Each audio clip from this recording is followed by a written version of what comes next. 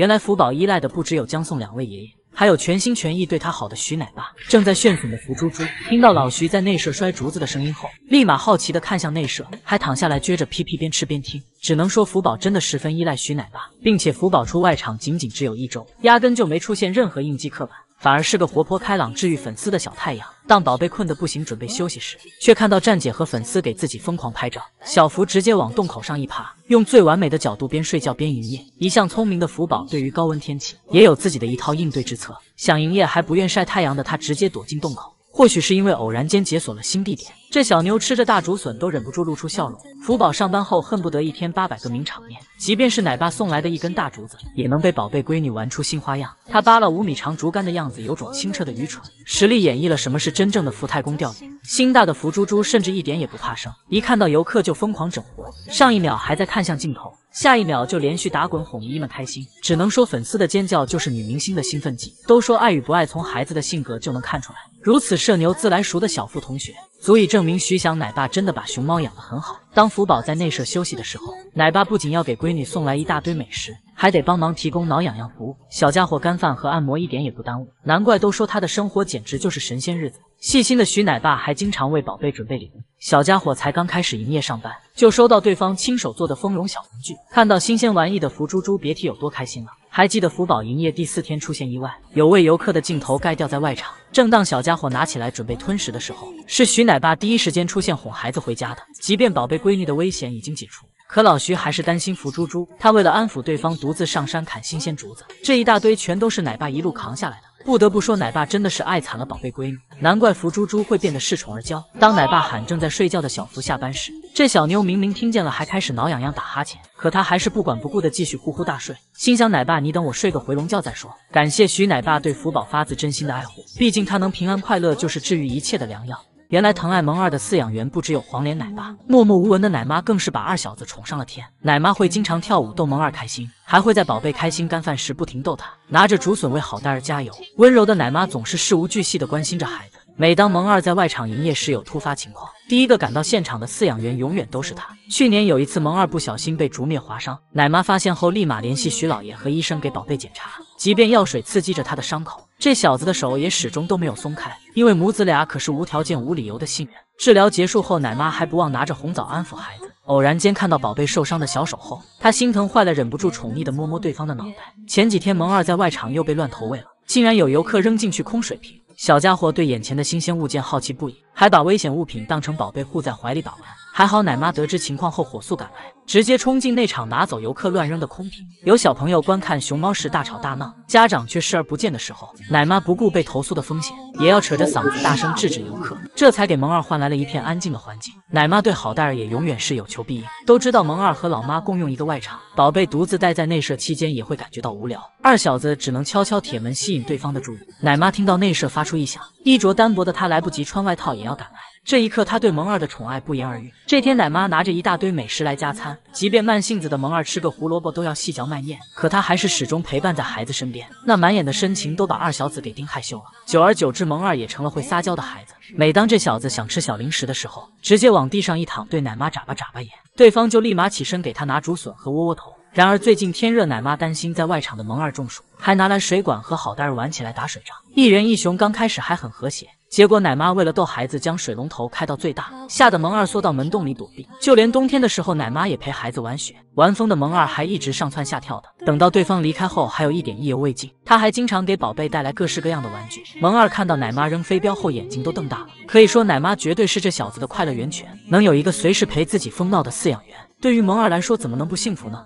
熊猫掰竹子的不同画风有多搞笑？小奇迹吃竹子抹脖子，福宝像是在吞剑。只见小奇迹掰竹子都快把自己气成小猪了，他拿在手上摆弄半天，怎么都劈不开，最后还得戴在脖子上当项链。再趁着竹子开小差的时候猛地一转，看小奇迹这气呼呼、生无可恋的表情，不知道的还以为这小子正准备去干架呢。而同为神树坪顶流大侠的福宝，这吞剑法更是承包了姨姨们的笑点。小家伙拿到超长竹子后，彻底懵了，压根就不知道该如何下口，像拿金箍棒似的从这头捋到那头。双手合十抱着竹竿。这一幕，不知道的还以为熊猫也能虔诚的焚香呢。毕竟福猪猪还韩国游学期间，宋爷爷只是教会了宝贝孙女用长竹竿钓鱼，掰竹子这件事他可是一窍不通。虽然小福同学在这方面落后国内小伙伴，可他老爹却是掰竹子界的种子选手。乐宝不仅能分分钟劈开一大根竹子，还能独自去竹林里打包，一挥手就成功拽过来一个超大号的竹竿。不得不说，乐宝怎么还吃独食呢？有这顶级功夫不传授给自己闺女，估计福宝在韩国的饲养员也得后悔。难怪他们俩连夜修改教材，第二天就手把手的教瑞宝、辉宝掰竹子。只是老宋掰小竹竿忘记表情管理，真的害怕身为人教版小熊的辉宝和瑞宝回国后会因为龇牙咧嘴被滚滚的笑话。毕竟北洞的萌二就是那个先例，宝贝是吃百家饭长大的孩子。因为没有亲妈在身边亲手教导生活技能，导致这小子掰个竹子都得饲养员示范。哪曾想奶爸由于力气太小，在掰竹子时控制不住自己狰狞的表情，导致萌二也有样学样，每次掰竹子都要可以龇牙，有时候忘记标志性动作还得后期补上。相比之下，花花就显得文静起来，每次吃竹子都是不紧不慢的，即便他使出吃奶的力气也无法战胜竹子，到最后只是受了个皮外伤。难怪都说花总在野外一天得饿三顿，没想到女明星干饭也能这么优雅。只能说她成为带编制的顶流是有原因的。同为颜值担当的小白天，在掰竹子的时候也没忘记表情管理。这小妞生怕被姨姨们拍到丑照，竟然牺牲自己的大脑壳顶着竹子，真不愧是萌兰那小子的未婚妻。小白天霸气中竟然还有一丝呆萌，滚滚们掰个竹子也能整出八百个活，难怪都说熊猫的智商高呢。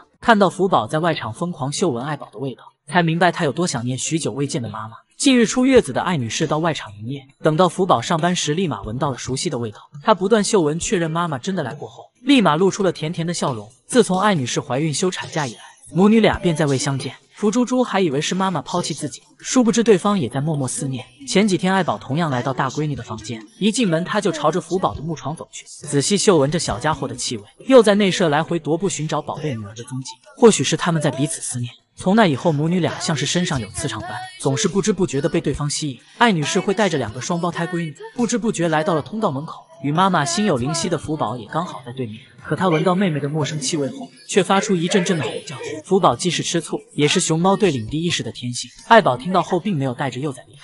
不像当初听到乐宝的叫声那般惊慌失措，还带着小福宝原地转圈，而是静静待在原地，因为他明白对面是许久未见的福宝。艾女士为安慰大闺女的紧张情绪，会发出温柔的咩咩叫，即便江爷爷一直在喊她回家。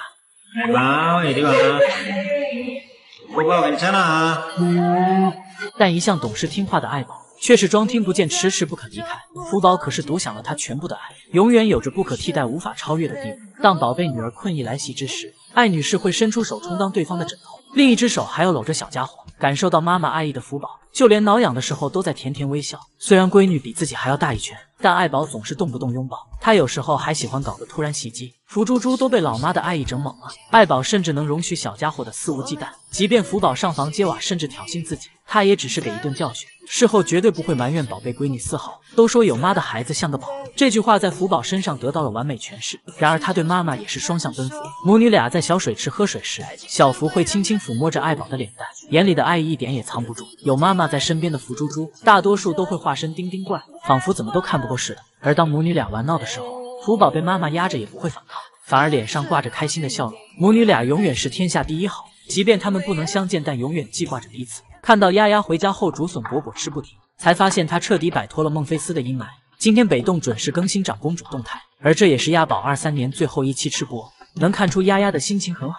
镜调皮的镜头玩起捉迷藏的游戏，只见她躲在椅子后大口吃笋，丝毫未发现自己早就暴露无遗。而上一秒还抱着大头笋大快朵颐的丫丫，下一秒就吃上了美味窝窝头。或许是很合她的胃口，都把鸭宝香的开始吧唧嘴了。本以为长公主的吃播到此结束，没想到她又看上小篮筐里的果果。而奶爸奶妈为方便入口，还贴心的帮鸭宝切成了两半，并且丫丫不仅有美食相伴，小鸟们也在为公主鸣唱，享受美好生活的她惬意十足。就连朵朵也在微微晃动，表达着开心。如今白白胖胖又活泼灵动的她，完全看不出从前饱受摧残的影子。那时候的丫丫身处异国他乡，不仅没得到身为国宝的一丝优待，甚至还要每天忍受着饥饿，因为孟菲斯不肯给熊猫吃昂贵的新鲜竹子。鸭宝的食物不是干枯的竹竿，就是老美限定款的冰坨坨蛋糕，所以他经常在凌晨饿得睡不着，只能一遍又一遍的在垃圾堆翻找，却怎么也看不到一丁点食物。难以忍受饥饿的他，只好仰头看天。丫丫希望看向高处的摄像头，用乞求的眼神换来对方的一丝怜悯，可每次都是徒劳无功。长公主向饲养员五十五秒磕二十九次头，却得到置之不理就是最好的证明。在长此以往的非人待遇下，曾经美丽的丫丫变得瘦弱不堪。她不仅瘦的腿上没肉都能看到骨头，就连熊猫标准的大圆脸也成了瓜子脸。丫丫甚至长时间困居在狭小房间，孟菲斯也不肯为她提供丰容。倍感无聊的她只好抱着轮胎捣乱，这是长公主唯一的消遣。在如此脏乱差的环境下，丫丫不可避免地患上皮肤病，后背皮毛大面积脱落。即便这样，孟菲斯也没为她治疗。难以想象二十年她是如何度过的。还好长公主如今回到自己家，终于不用像当初在孟菲斯那般受苦。丫丫回国后仅仅半年多的时间，难以根治的皮肤病已经恢复如初。而在奶爸奶妈的悉心照料下，从瘦到脱相味道肥嘟嘟的大脸盘，身上不仅没有丝毫的凹陷，甚至变得圆滚滚，肚子上也有肉。以前的她总在垃圾堆寻找竹子残骸，现在却真正实现了竹子自由。在家的鸭宝想吃多少有多少，各种果果和窝窝头也是换着花样来。如今的丫丫眼里有光，脸上挂着笑容，也终于完成了真正的蜕变。萌兰登上读者开年封面，阳光开朗大男孩有多会讨人喜欢？只见萌儿和小鸟相伴的插画《岁月静好》，粉丝们见状纷纷去报亭购书，萌兰更是凭此登上热搜。真不愧是熊猫圈的顶流男明星，可顶流也不是那么好当的。正因为这小子积极营业又治愈粉丝，才能被万千两脚兽视若珍宝。萌儿对世界充满着浓浓的爱意，善良的他对粉丝的要求可是有求必应。只见游客用手。姿势对准萌兰，本以为这小子会置之不理，没想到他会立马往地上一躺，努力配合着两脚兽的幼稚行为，倒下的同时手还颤抖了两下。小熊精萌萌如此会演戏，难不成拿到过奥斯卡小金人？作为一枚宠粉的男明星，他经常隔着玻璃和游客们互动，看到对方伸出手想要触碰自己时，懂事乖巧的他会立马凑过去，还让依依随意摸自己的小鼻子。萌萌既聪明又治愈，这样的小熊怎么不令人心动呢？这小子不仅喜欢亲近两脚兽，他还时时刻刻都记挂着粉丝。即使自己正抱着竹笋大口干饭，但当他看到窗外的两脚兽打招呼后，宁愿停下吃笋的动作，也要扭头满脸笑意的看向对方，用自己的方式回应着游客的喜欢。萌兰每天都会用最好的状态营业，经常玩几个小时也不愿停下，为的就是不让千里迢迢赶来的粉丝白来。游客们看到男明星激动不已，忍不住轻轻拍打玻璃。萌萌儿同样会伸出手和对方击掌，因为来看男明星的两脚兽太多，人流量太大，势必会影响下一波游客。保安大叔只好驱赶疏散，而萌兰竟然比他们还要依依不舍。他扶着玻璃一步步走向粉丝，最后还急得跑到角落。萌萌儿试图看两脚兽最后一眼，然而萌兰俘获人心的方式还不只是懂事治愈，更重要，他能为姨姨们提供情绪价值。谁不希望身边有个幽默的小熊呢？这天萌儿刚出外场。仅仅巡场不到一圈就折返回家，正当粉丝们失望之时，他突然露出熊头向两脚兽走来。不过没一会又回到内舍，他就这样进进出出来了三个回合，游客的尖叫声和失望声此起彼伏，都快被这小子搞成精神分裂了。看到游客被自己戏弄的样子，得逞的萌兰笑得都合不拢嘴。